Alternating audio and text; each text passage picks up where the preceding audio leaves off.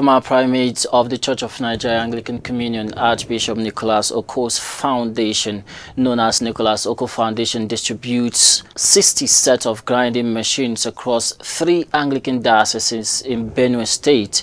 This act of benevolence happened last week Tuesday and it was amongst three dioceses, Zaki-Biam, Gboko and Otukpo dioceses. It was supervised by the Bishop of Zaki-Biam Diocese, the Right Reverend Jezreel Vander. The communities were awash and overwhelmed with the kind gestures stretched to them by Nicholas Okoh Foundation in order to take care of their family needs. While presenting the gift, the operation manager of the foundation, Reverend Canon Joseph Ichupi, described the gift as a blessing unto the beneficiaries and encouraged them not to sell it, rather they should put them into use so they can support their financial needs. The beneficiaries also expressed their appreciation to the foundation. We know that as human beings, we have been faced with the issue of insecurity around this our environment. People have been displaced.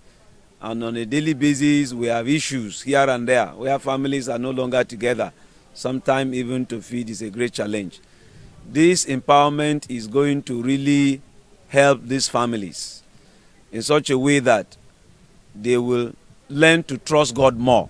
Because there are some people who cannot even come to church because they will have no money even to do offering. But with this, little amount of money will come into their hands. So coming to church will no longer be a burden because they will have even something to give. And that will help them to know that there are people far away who are thinking of them in an environment where, under normal circumstances, it may not be easily accessible. So my encouragement to them is that first, this should strengthen their faith in God, that God will never forget his own.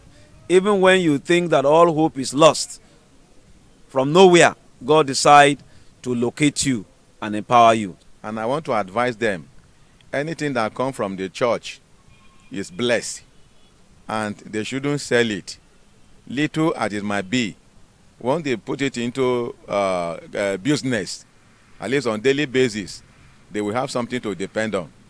I'm praying that may the Lord increase our Father in the Lord, Nicholas Dioko. And my prayer is that may he replenish to him in Jesus' name. You see, it's a good thing being a Christian. And another thing being an Anglican member. You see, it has not been easy. Other churches are not doing it.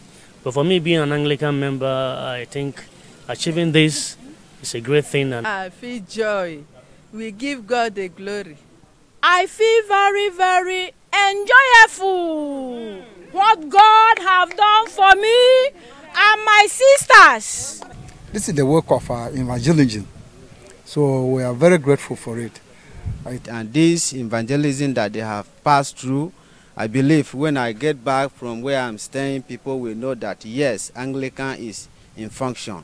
So we pray that God should give him the grace and the knowledge and the experience to continue. May God bless him. And we are very grateful and we believe as these materials are given to us, we make benefit of it.